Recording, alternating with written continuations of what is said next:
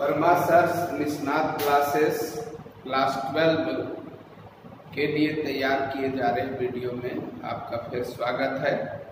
इसके पहले हम आपको बताए थे कि गोलीय संधारित्र की धारिता कैसे निकाली जाती है, जब बाहरी गोला उधरित है और भीतरी गोला आवेशित वहाँ हम कठिनाई बताए थे कि जब हम भीतरी गोला को उद्धरित करेंगे और बाहरी गोला को आवेशित करेंगे तो एक समस्या आएगी। उस समस्या के समाधान के लिए पहले हम ये दो क्वेश्चन पढ़ा देते हैं आपको। आसान लगेगा। संधारित्रों का श्रेणीबद्ध समूहन करें। सीरीज़ कॉम्बिनेशन इन सीरीज़ तो देखिए, ये जो कंडेंसिंग प्लेट है। पहला संधारित्र का जो ये संघनक प्लेट है ग्रीन कलर वाला।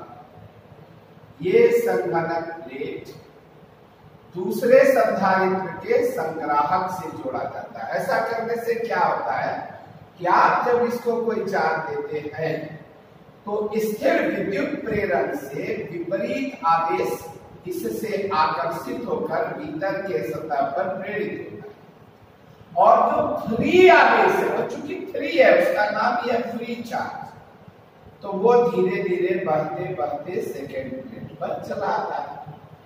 अब फिर यही क्रिया जो फ़र्स्ट प्लेट पर हुई, जितना चार्ज सेकेंड पर आया, ठीक उतना ही विपरीत आवेश इसके संगणक प्लेट पर प्रेरित होता है। और इस पर प्रेरित मुक्त आवेश थर्ड प्लेट पर चला जाता है। फिर यह थर्ड के संगणक प्लेट पर विपरीत आवेश प्रेरित करता है। और इस प्रेरित मुक्त आवेश को, चूँकि हम यहाँ तीन ही संधारित्र लिए हैं, इस मुक्त आवेश को पृथ्वी से इलेक्ट्रॉन आकर मुद्रित कर देता है।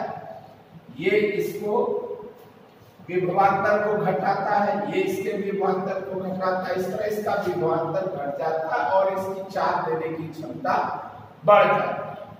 लेकिन यहाँ एक चीज़ गौर करने का है कि इस तरह के कनेक्शन में टर्मिनल पॉइंट्स अलग अलग होने के कारण विभवांतर अलग अलग है, लेकिन आवेश सब पर समान है।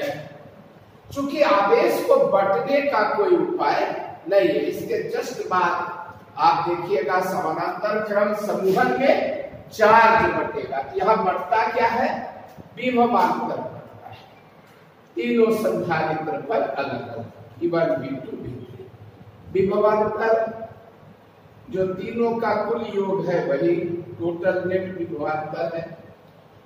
अगर हम इन तीनों को हटा दें और एक अकेला संधारित्र चुने, ये लाल वाला।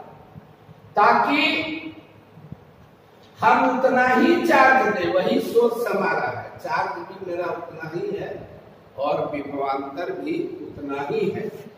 तो ज़ाहिर है कि इसकी कैपेसिटी इस तीनों के कैपेसिटी के समतुल्य होगी। समतुल्य शब्द का मतलब समझिए। समतुल्य शब्द का अर्थ होता है कि तीनों कंडेंसर मिलकर जितना कैपेसिटी प्रोड्यूस करेगा, ये अकेला उतना ही कैपेसिटी प्रोड्यूस करेगा। और एक चीज़ आप देख रहे हैं कि यहाँ समतुल्य धारिता घटती है, क्योंकि ये जो है वन बाई सी बराबर one by C one plus one by C two plus one by C three आता है। आप इस दोनों को इक्वेट कर लीजिए क्यू क्यू कैंसिल हो गया वन बाई सी बराबर। आगे एक लाइन इसमें जोड़ देना चाहिए कि यदि हम इसी प्रकार एन संधारित्रों को जोड़े तो समतुल्य धारिता यहाँ पर जोड़ देना चाहिए कि इसी प्रकार एन संधारित्रों को समूहित करने पर वो भी किस क्रम में श्रेणीबद्ध समूहित करने पर क्या होगा वन बाई सी बराबर वन बाई सी वन जोड़ वन बाई सी टू जोड़ सो ऑन चलता रहेगा। और लास्ट में क्या होगा? जोड़ वन बाई सी एल होगा। परीक्षा में कभी कभी केवल दो ही संधारित्र देगा। आजकल बिहार बोर्ड का एग्जामिनेशन काफ़ी हल्का होने लगा है। तो अगर आपको परीक्षा में ऐसा क्वेश्चन देता है कि दो संधारित्रों को श्रेणीबद्ध समूहित करें तो तीन मानने का भी ज़रूरत नहीं है। दो ही तक सीमित रहिएगा। वन बाई सी बराबर वन बाई सी वन जोड़ one by C two clear इसके बाद वाले वीडियो में हम देखते हैं कि जब संधारित्रों को समानांतर क्रम में जोड़ा जाता है, तब क्या